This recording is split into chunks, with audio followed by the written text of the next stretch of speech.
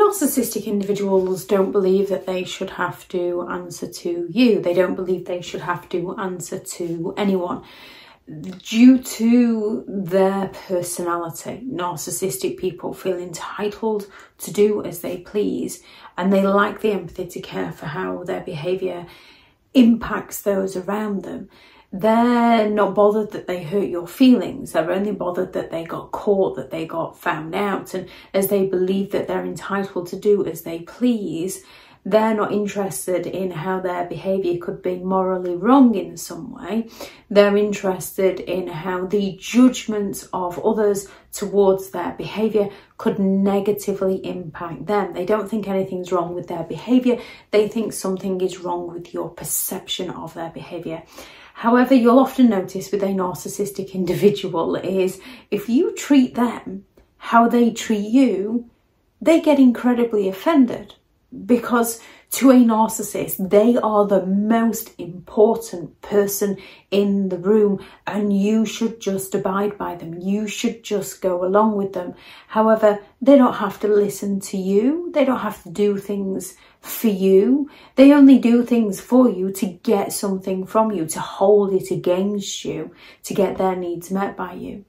When it comes to narcissistic individuals, due to their sense of entitlement, due to their belief that they are always right, due to their belief that they don't need to answer to you, they don't need to answer to anyone, it's very difficult to find the right time to ask them a simple question. Be it, hey, we've been invited here. Would you like to come along? What are we doing tonight? What would you like for your tea? If they are that way out, they will go all out to frustrate you and to wind you up by avoiding answering the most simplest of questions, as well as questions that the answer might paint them in a negative light. They often look to frustrate you and wind you up and get you going so that they can shift the blame over to you. So this video is to look at a few ways a narcissistic individual avoids answering a simple question and there are plenty of them so any you notice please do add those into the comments. One of the first ways a narcissist will avoid answering a question is by simply answering your question with a question. Now, as we ourselves can do this when we're looking for more clarification, when we're looking for more certainty on what the question that has been asked when we haven't heard, when we've misunderstood the situation. Or potentially when you're dealing with a narcissistic individual and you know your answer is going to cause you pain in some way. So you look for ways to get out of answering the question. You might respond with a question. Narcissistic individuals answer your question with a question because they want to get you explaining and defending yourself to them so that they don't have to defend or explain themselves to you. Another way a narcissist will avoid answering a question is by changing the subject, diverting the topic of conversation. And a narcissistic individual will sometimes change the subject so skillfully that you don't even recognize that you've been diverted onto a different path. So you can start to forget what the original conversation was about. A narcissist will also come at you with unjust accusations so that they can play the victim in the situation. They can start accusing you of attacking them, of not caring about them, of not listening to them. And this can frustrate you because you can stand there and think, hang on a minute, you're the one that's not listening to me as they project out onto you and wind you up and avoid the topic of conversation. And by accusing you of something, not only do they get you on the defensive, but they also play the victim in the situation. So they get you feeling guilty, they get you feeling bad and remorseful for daring to ask them of something they will come at you with how busy they are right now. So you feel bad. There's no right time to approach somebody who does not want to discuss things with you. A narcissist will happily fall silent.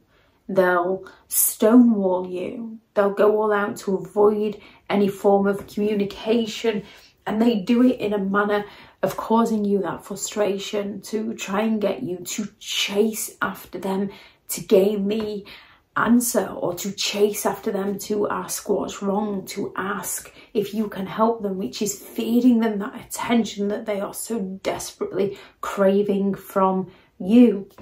A narcissist will happily use the word salad to avoid answering a simple question. Now, this isn't the word salad of a schizophrenic person who will just come at you with incoherent speech and a jumble of words. This is the narcissistic word salad where they will just flip from one topic of conversation to another. So they will flip from asking you a question, changing the subject, accusing you of something, playing the victim. They will suddenly be evasive. They will start gaslighting you and attacking you and they will switch from one to the other so rapidly that you barely have time to deal with one thing they've come at before they're coming at you with another thing. They will triangulate the situation. They will bring a third person into the conversation. They will either compare you to somebody else or claim that somebody else agrees with them. So if you have a difference of opinion, they get offended they play the victim, they will accuse you of fancying the other person, they will accuse you of not caring about them, they will change the subject, they will bring that word salad in and say, what about when you did this? So you end up totally confused and they get away without answering the most simplest of question. They will be evasive, they will be very vague, they will just, oh, I don't know, oh, I'm not sure. Do we have to talk about this now? They will happily gaslight you. And one of the worst things about the narcissist gaslighting is they provoke a feeling within you so you know you're experiencing that feeling and then they use that feeling against you. So they go all out to make you feel guilty and then they accuse you of not caring about them. They accuse you of being selfish. They accuse you of being difficult. They accuse you of being awkward they go all out to betray you and then they accuse you of being bitter, which is a natural reaction when someone's betrayed your trust. And it's something that we ourselves have to work through. But a narcissist will use your reactions to their actions against you to make out that there is something wrong with your emotional reactions, to distract you from their actions, which are causing those emotional reactions within you. They will go all out to provoke jealousy within you and then accuse you of being jealous. They will cause those trust issues within you and then accuse you of having trust issues. Yet they deny any part they've played, they deny any role. They will go all out to interrupt you. So you you can't you can't get your question across to them because they interrupt you and they divert the topic of conversation to what they want it to be. So you can't get your question across. And another way they avoid answering your question is by asking you a question. And then when you try to respond, they interrupt you, usually in a manner where they're playing the victim so that you can't answer their question because they're interrupting you to avoid answering the question that you originally asked them they will respond with things like sarcasm. They will just turn around and, oh, I'm sorry, I forgot you were perfect. They will go all out to try and humiliate you in front of an audience, to try and mock you, to get people to go along with them. So they feel like they've got that unity when they've just got a bunch of enablers and flying monkeys that are usually also narcissistic or too blind to recognise what the narcissist is doing or simply just naive and like most of us have been naive around a narcissistic individual and we just haven't learned. A narcissist can also avoid answering a question by flying into a rage. They've suffered a narcissistic injury, so they can fly into a rage to try and intimidate you, to threaten you, to shut you down.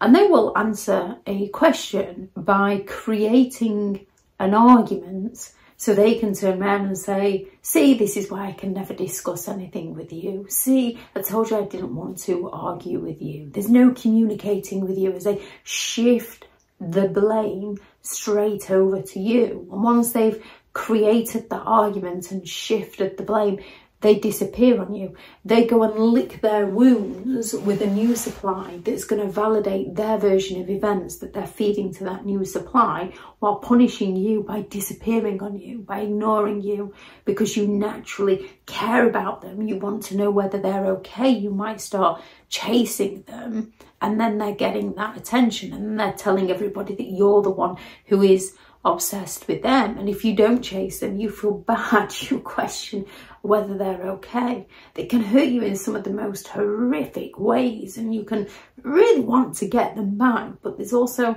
that, that empathy, that compassion within you that still cares about them and still wants to sort of see it from their point of view, but they're, they're not coming from the place you're coming from where you know that you can make mistakes, that we don't always get things right, that you give someone the benefit of the doubt.